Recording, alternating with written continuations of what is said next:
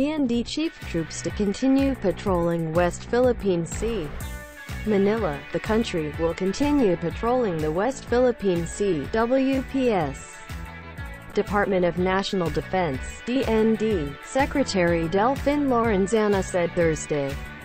He added that this will be the thrust of the defense establishment for the coming year. We will still continue with our activities there, Nagpa Patrol Yateo, we patrol regularly, so we will continue on strengthening our islands.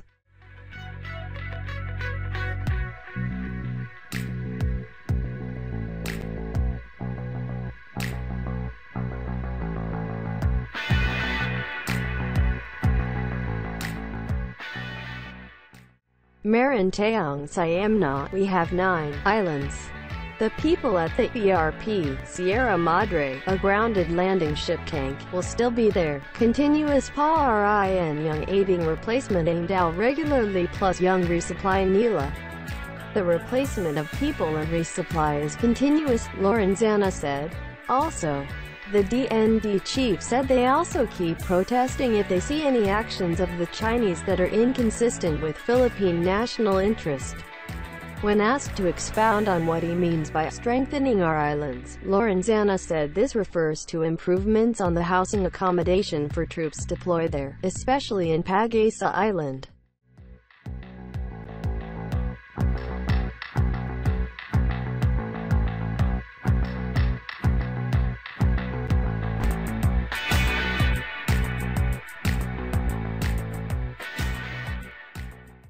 We have allotted funds for the shelter of our troops because right now, they only have huts there. We should give them good shelters barracks, especially in Pag-asa.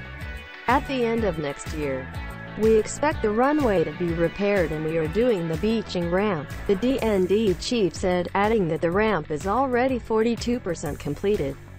Once completed, the ramp will enable them to bring in the necessary materials and equipment to repair the runway. Source pna.gov.ph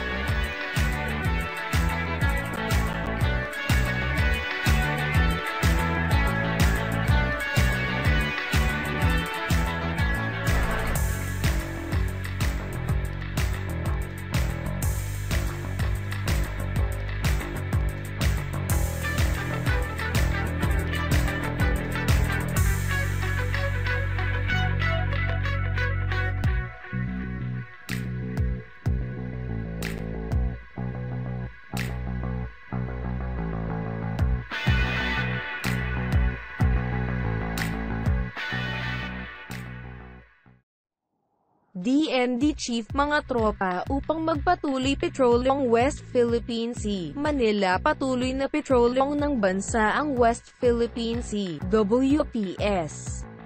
Sinabi ni Department of National Defense, DND, Secretary Delfin Lorenzana Huebes, idinagdag niya na ito ang magiging tulak ng pagtatatag ng depensa para sa darating na taon. Magpapatuloy pa rin kami sa aming mga aktibidad doon. Regular naming pinapatrolya. Patrol kami. Kaya't patuloy kaming magpapatibay sa aming mga isla.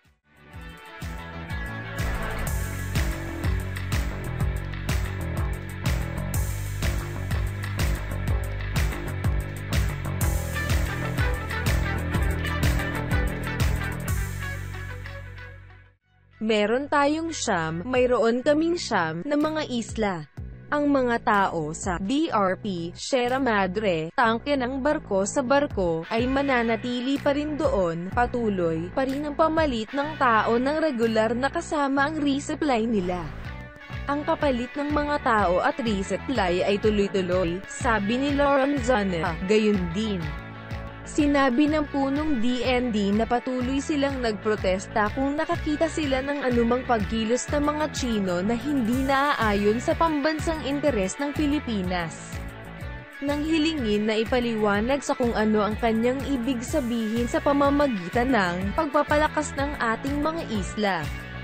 Sinabi ni Lorenzo na natumutukoy ito sa mga pagpapabuti sa tirahan ng tirahan para sa mga tropang ipinadala dito, lalo na sa Pag-asa Island.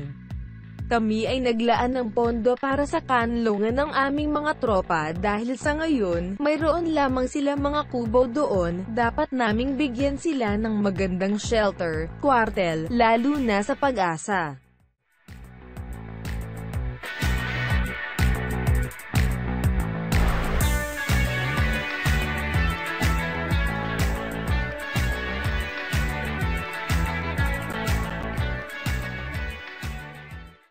Sa katapusan ng susunod na taon, inaasahan namin na patakbuhin ang runway at ginagawa namin ang beach ramp, sabi ng punong DND, at idinagdag na ang rampa ay 42% na ang nakumpleto. Kapag nakumpleto, ang rampa ay magbibigay daan sa kanila na dalhin ang mga kinakailangang materyales at kagamitan upang ayusin ang daanan, pinagmulan niya